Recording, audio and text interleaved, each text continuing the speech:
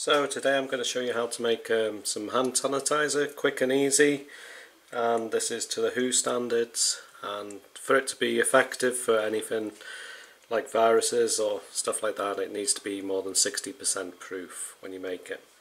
The ingredients I'll be using are glycerin, isopropyl alcohol 99%,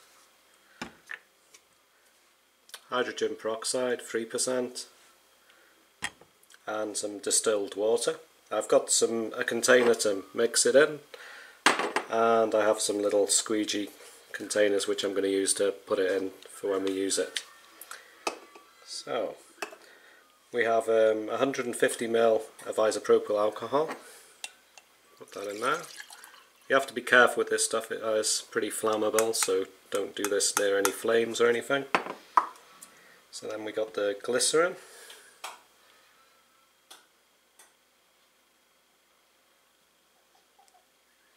Just mix that in a little bit, get it off the spoon.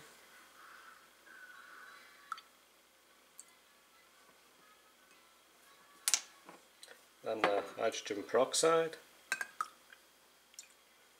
I'll give you the measurements shortly. And then some distilled water. I won't add all of that at once, I'm going to mix it a bit first.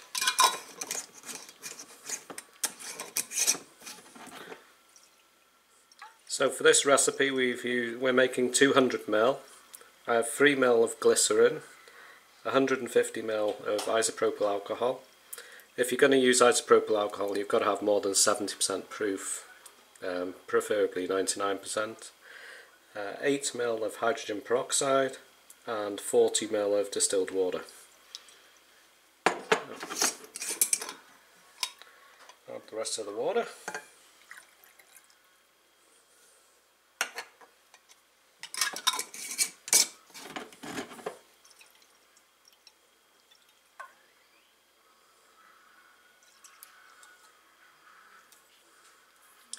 And there we have it, that is the hand sanitizer as recommended by the WHO.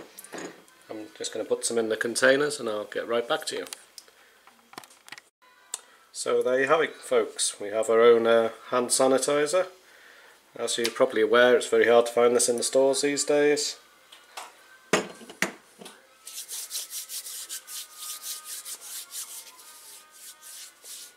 There you go. For those situations where you don't have any soap and water, handy to wash your hands in this day and age probably a good idea to have something handy.